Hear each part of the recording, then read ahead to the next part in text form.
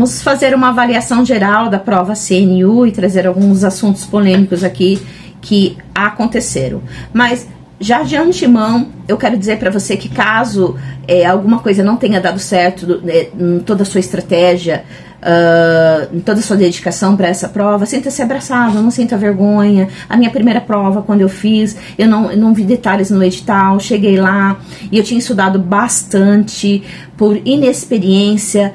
É, acabei não, tendo contato de, de entender que o edital era um documento, então eu errei muito antes também. Tá tudo certo, a gente vai aprendendo com os nossos erros. Às vezes você se dedicou tanto, tanto, tanto, tanto e tá com sentimento de ter morrido na praia. Então fica triste alguns dias, tá tudo bem, sinta raiva, chore. É melhor que seja desse modo para que você não fique doente por causa disso. Mas não esqueça que tem muita jornada ainda pela frente para você e aquilo que é para ser seu vai ser. Não perca as esperanças. Tá tudo bem errado. Tá tudo bem. Tá bom? Tá tudo certo. De repente não era o seu momento, mas o seu momento ainda vai chegar, desde que você não desista. Temos Correios, temos Banco do Brasil, temos muito concurso ainda em 2025 para o nível médio, tanto para o nível superior, tá bom? Então, pega isso aí no seu coração. Talvez não era o seu momento, mas o seu momento, se tá ali, a tua esperança no coração, mesmo que você seja triste agora, a sua hora vai chegar também, tá bom? Estudar até passar certo? Não estudar para passar, mas até passar. É diferente isso e tá tudo bem. Tá? Não sinta vergonha, não levanta essa cabeça. Vamos lá falar de modo geral. Lembrando que eu sou psicopedagoga, tá bom? Então o meu olhar é um olhar realmente bem profissional, dentro de um modo geral, relacionado à realidade de um país subdesenvolvido, dentro de toda uma pesquisa de conhecer bem o perfil de modo geral, que tem os concursos públicos ou vestibulares, tá certo? Então, vão ser avaliações bem assertivas para que você pegue isso, consiga avaliar bem e se preparar para os próximos concursos. Porque, sim, não entre no processo de negação, tá certo? Você precisa depois parar, anotar todas as suas falhas, para que você consiga, a partir disso, montar uma estratégia melhor. Isso chama-se amadurecimento estratégico, tá bom? Relacionado ao comportamento estratégico, tá bom? Tá. Vamos começar com português. De modo geral, não foi uma prova fácil, foi uma prova que trouxe bastante leitura, cansativa. Na parte de manhã, duas horas e meia, eu não achei que era muito tempo, achei que foi bem corrido, beneficiou quem estava bem treinado. Por exemplo, eu recebi poucos alunos porque sou eu mesmo que atendo e o meu, como meu trabalho é muito diferente, então só recebi cinco alunos, né, para essa prova. Três foram muito bem. Então, esses que foram muito bem, que eu vou trazer como parâmetro, o que, que eles trouxeram para mim? Porque desde o início, além de saber qual a melhor habilidade de estudos que eles têm, além de saberem que precisa fazer uma lista daquilo que Sesgran Rio gosta de pedir, é, então nisso, segundo eles, aquilo que costuma pedir estava lá na parte de gramática em português. Do tema, que era um tema que eu acredito que muitos professores acertaram, que também trouxe no vídeo em que eu falo sobre redação para vocês, também estávamos dentro ali daquele tema. Quem conseguiu e teve tempo de pegar esse tema e dar uma estudada, também se deu bem. Então, na parte da manhã, dentro dessa é, orientação, legal. Eu só achei que foi um pouquinho mais pesado na parte de interpretação. Achei que algumas perguntas ali não foram tão simples assim de responder. Eu mesma hum, sou boa em português, mas algumas coisas eu não sou, não. Então, acredito que das 15 eu garantiria, sei lá, umas 9 ou 10 bom? De restante, eu achei que não estava tão simples assim mesmo, não. Na parte é, da redação ou na parte da dissertação, da discursiva, sempre faço uma confusãozinha aqui relacionado a isso. Eu achei que os temas foram bons, tá bom? Sei o que, que você achou, depois coloca aqui você que conseguiu é, é, pegar bem dentro do tema. Lógico que eu, na plataforma estava ali. Eu coloquei na plataforma que você deve fazer, a sequência que tem que fazer da prova. É, falei bastante sobre matemática, qual estratégia que tem que usar. Falei sobre esqueleto de redação, tá? Então, de repente, se todos os erros que, que estão sendo mencionado, mencionados ou que você já sabe, na plataforma você vai ver que tinha todas essas orientações lá. Então, eu sugiro realmente de coração de coração, para você principalmente que está triste aqui, que pega o link aqui da descrição, entra lá na plataforma, que é um valorzinho muito baixo, 35 reais, vai mudar a tua vida, é, com todas essas técnicas aqui, que engraçado que a maior parte dos erros que eu analisei, tinha todas essas orientações lá na plataforma. Então, depois que você ficar um pouquinho com a cabeça mais fria, um pouquinho mais tranquilo, mais tranquila, pegue e olhe lá, comece já a estudar a respeito de estratégia, de metodologia, organiza um caderninho e já vá se preparando para os próximos concursos. Dá uma olhadinha no vídeo em que eu falo sobre os Correios, caso você vá prestar para ensino médio. Olha o vídeo em que eu falo dos Correios, tá bom? Para dar tudo bem. Mesmo você que não tenha errado essas situações aqui, de repente é, você sente que a tua nota não vai ser legal, vou falar sobre a nota de corte, então você descansa um pouquinho já, começa a se preparar, não vai demorando muito não, que depois perde a pegada, tá bom? Tá.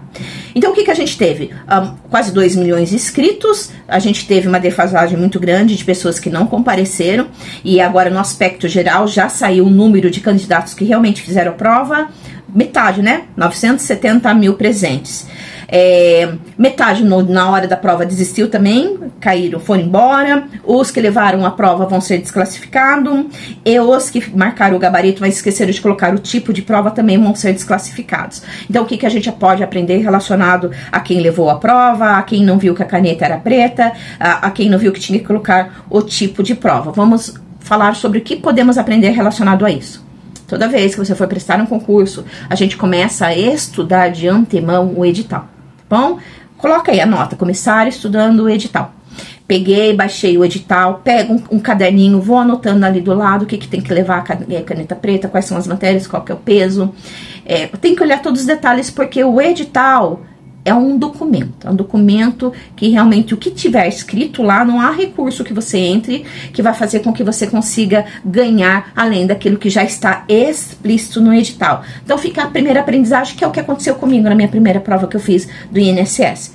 Pronto, tá tudo bem, errar é humano, tá tudo bem, respira, tá bom? Nas próximas, você vai tomar todo esse cuidado. Além do que eu explico lá, cálculo estratégico, como que você aprende melhor, tá?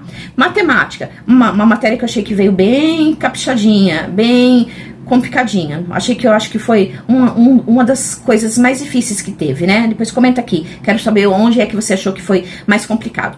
Foi uma prova pesada, no sentido de muita leitura, muita leitura mesmo, mesmo nas partes específicas, é, analisando, por exemplo, AFO, né, para quem é, é, caiu o AFO, dos temas que foram pedidos ali. Mesmo na repescagem da banca Cesgran Rio, os temas que costumam ser pedidos em administração financeira e orçamentária estavam lá. Então, o que, que deu para avaliar de modo geral? Quem treinou bastante em cima de questões, foi criando uma lista em cima de questões daquilo que eles pediram e conseguiram fazer as questões, que é aquela técnica que eu ensinei para vocês lá na plataforma, que é a técnica estudar através de questões, método cara crachá. Então, que, que, é o método que eu, que eu organizei um pouquinho mais recente, mas tem um vídeo anterior, como estudar através de questões, que só daquele vídeo anterior, que é mais antigo, a pessoa já teria se dado bem aqui de modo geral, porque teria um pouco mais de rapidez para responder, né? Muito texto, bateu o olho, conseguiu olhar rapidinho qual era o tema, foi para as questões, acertou, tá?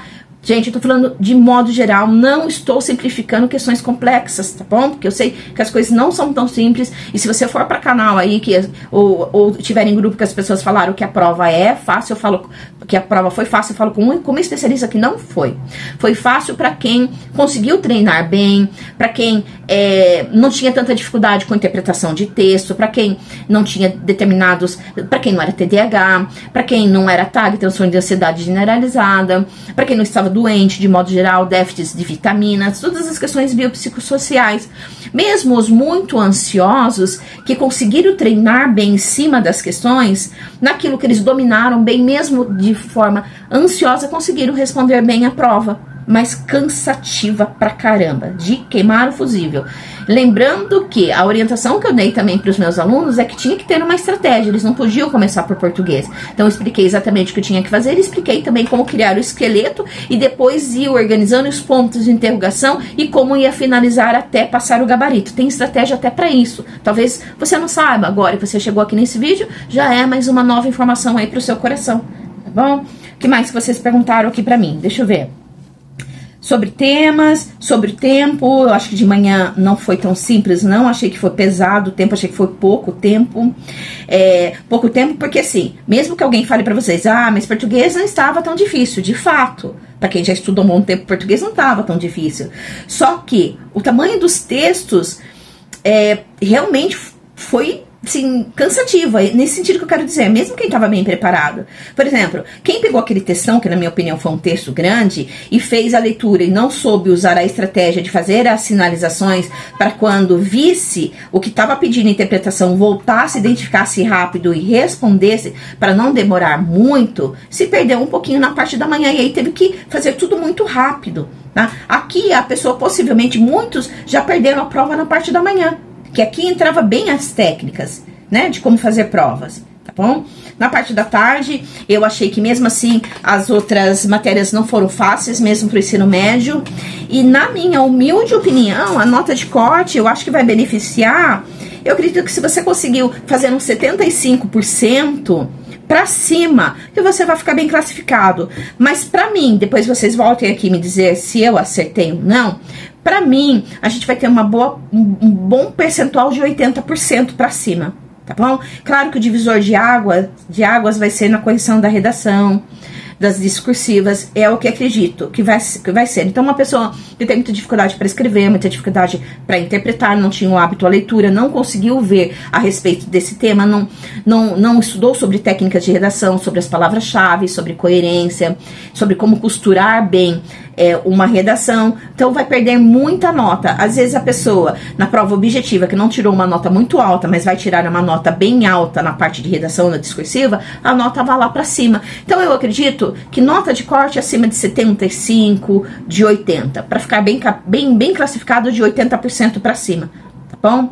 É, principalmente na, na parte de quem prestou o cargo para ensino médio, tá certo? Eu quero ver sua opinião aqui Quero, quero que você agregue informações dentro disso que eu falei e que você uh, depois faça uma anotaçãozinha, assim, uma lista de tudo que você pecou, de tudo que você entende como erro, depois que passar todo esse seu nervosismo, tá bom? Agregue uh, toda essa aprendizagem de metodologia lá com a plataforma para ver o que você pode melhorar. Dá uma olhada no vídeo que, que eu explico o que fazer com a prova dos correios. Falei bastante coisa bem legal.